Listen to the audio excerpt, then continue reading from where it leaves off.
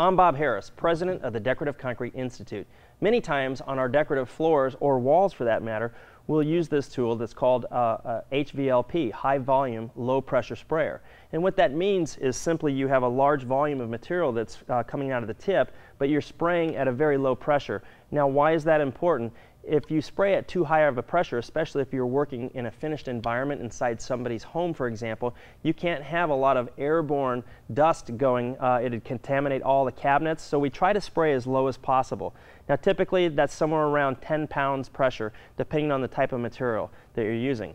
I'll spray water-based stains and water-based and solvent-based dyes Typically, I won't spray an acid stain here through here because I don't want the acid stain to corrode the metal components. Now, the way that this gun works is basically you have an air feed, you connect your air feed right here, and then you have a trigger. Now, if you've ever watched a good airbrush artist, whether they're painting a, a high-end car or a motorcycle tank, for example, they'll always have the air pressure spraying. And then what they'll do is they'll gently spray back or, or pull back, and that's what releases the material out.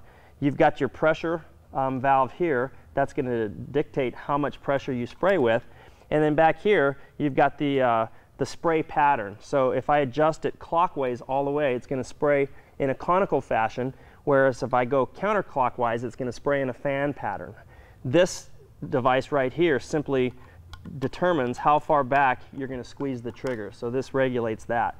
Um, it's threaded on, so when it comes time to clean these tools, make sure you do a very thorough job of cleaning everything inside. You'll see here we have a little um, filter. It's not uncommon for something to get caught up in the filter. Make sure that you clean that as well. As you work with this tool, you'll find that it's a very valuable tool to put into your tool supplement. The lid, you simply put in uh, the liquid in here, put the lid back on, and this is what we refer to as a gravity-fed cup gun. Many times I'll use the traditional artist airbrush. And so if I'm doing very detailed work like graphics inside of a rose petal or a leaf for that matter, I'll put my um, material, my stains or dyes inside of here and I'll simply attach it to the jar here and you have a great deal of control. You can literally spray areas an eighth of an inch without getting a lot of overspray. So they're very fun tools to work with and I, I encourage you to experiment and have fun with them.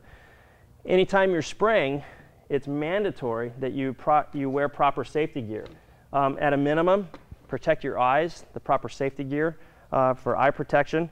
Also, the type of respirator that you use is very important.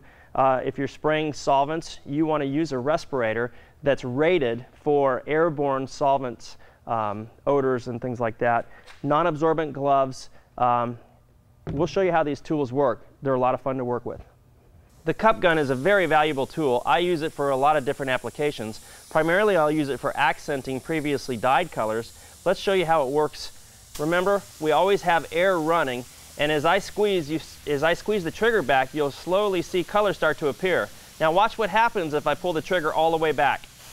That could end up being a disaster on your floor. So you really need to practice with the cup gun. And once you get your skill and your confidence level, you can really get some detailed work like a pinstripe right here, as you can see. So you can get very detailed work when using the cup gun. I'll do some accenting to show you how versatile this tool is.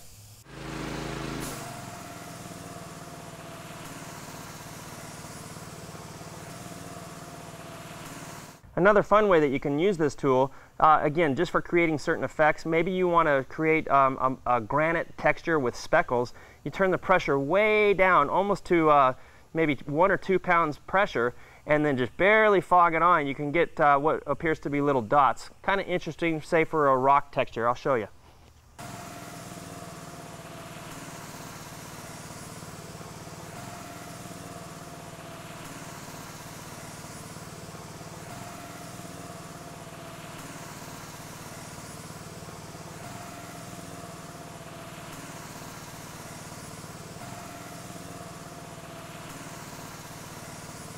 You can see the amount of control that you have with virtually not one drip of bleed through.